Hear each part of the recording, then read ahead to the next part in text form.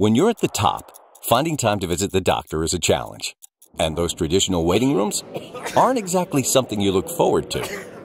Executive Medicine of Texas is a completely different experience. We treat you with the high level of service you deserve in an environment featuring the luxury you're accustomed to. Our executive physicals and concierge plans offer some of the most thorough medical workups available.